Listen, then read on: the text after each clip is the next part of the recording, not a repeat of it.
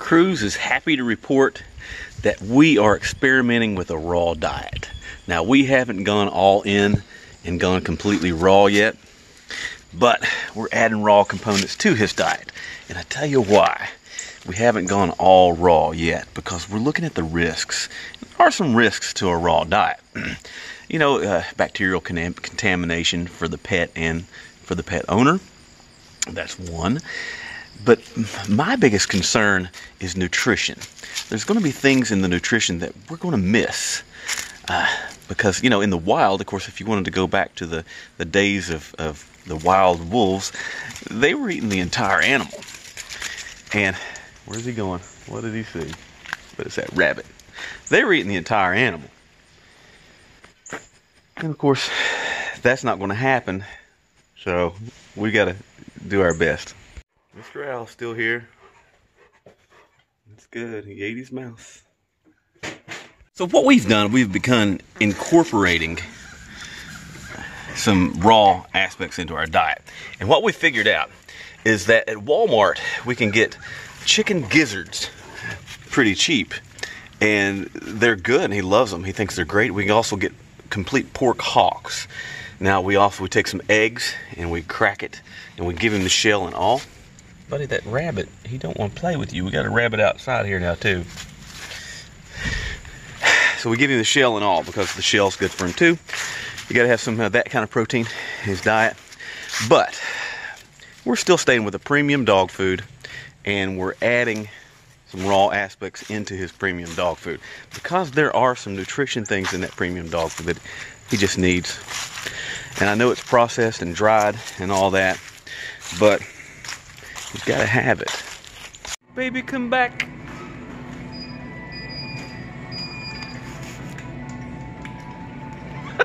stuck.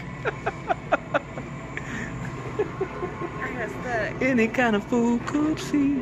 If you try this raw diet, the thing I want to suggest is don't give him cooked bones.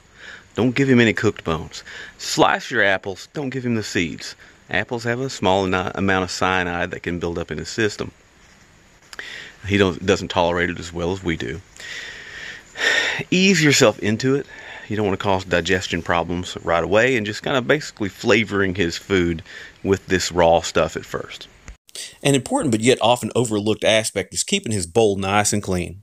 So I start with uh, a bowl of his dog food. We put a chicken, chicken gizzard or two in there. He loves him some chicken gizzards. Then some fresh eggs.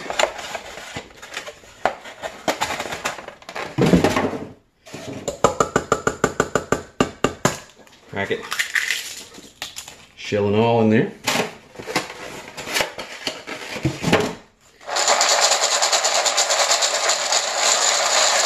egg down there a little bit. Mmm, what do you think, buddy? What do you think? Wait. Okay. He loves it. It's good for him. It's healthy for him. We're making sure we get all of his nutrition in there. And uh, so I think this is a good compromise right now until we really get the hang of this raw diet and make sure we do it safe because a mistake would just it just be too costly. We can't take a chance with our precious dog's health. We also add in some ground beef and some chuck uh, rump roast uh, some raw meats, different kinds too. The FDA put out a warning recently about grain-free dog food of all things and how it may be harmful to your pet. And I'll try to put a link in the description for you guys to, to go through it. But it's, it's a pretty interesting thing. The, all this time we thought grain-free dog food was the way to go. And now it may be hurting our, our loved ones. Dude, you're just so pretty. And that fall backdrop of those leaves and stuff. Probably by the time they see this video, it's going to have snow on the ground. We get a little bit ahead on our videos sometimes. And uh, I schedule them to upload later. And the reason is I don't want to really overwhelm you guys with too much content. and uh, lose viewers. And you know, I know how it is when you get spammed by that one person on Facebook or YouTube. And so I try to spread it out to a, two a week. So we upload two videos a week.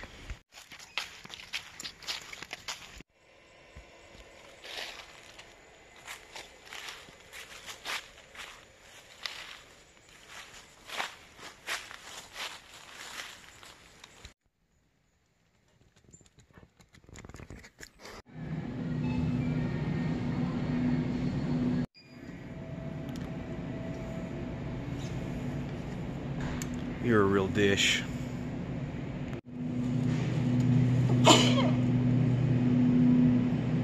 After a careful 10 minute selection process and sneezing into her shirt, Miss Justice has finally selected her bread. I'm stoked to meet you. Gives back this too much. One pork hock for the big boy.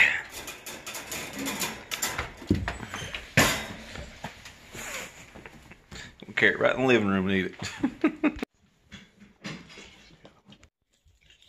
like your pork hock.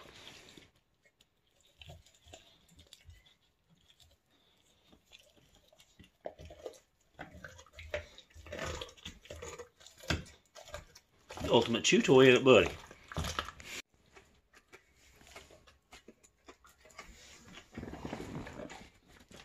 Son, you look like you suffered a terrible accident. you ain't letting go, are you? What's the matter? You like it? You're tired of eating, but you don't want to set it down? I know.